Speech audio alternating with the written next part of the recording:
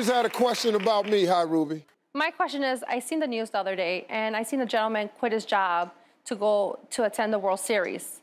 Then this woman quit her job dancing on YouTube. Did you do anything crazy to quit a job?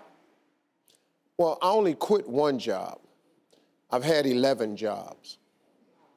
I got fired 10 times.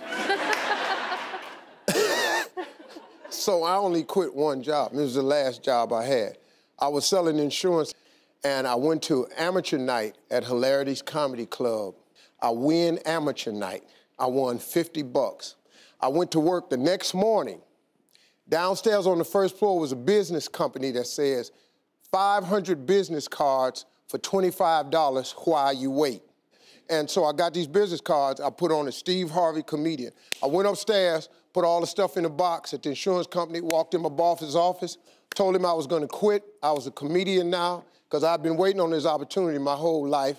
I found it. I knew this was it. You couldn't tell me nothing. Told him I was going to quit. He said, Look, you're a young man, you got a family. Put that stuff back in your desk. You don't have what it takes to go out there, and your family's going to suffer. I took my stuff in the box, back out to my desk, and I'm unpacking it. This is a true story. I'm unpacking in a box. Buddy of mine named Russell Middlebrooks walked up to me and said, Hey, man, what you doing? I thought you was quitting today. I said, Yeah, but I just talked to the boss, man, and he told me wasn't a good idea. He said, man, you gonna let that dream killing dude kill your dream like that? He said, man, you funny. If you don't go now, when you going? Put that stuff back in the box, walk back in his office, reached in my pocket, handed him one of them little cheesy ass business cards. I said, hey man, thank you for the opportunity you gave me. I said, but I'm a comedian now, I'm gonna go for it. He said, if you walk out of this office, you'll never get this job again. I quit. I'm here now. Yeah.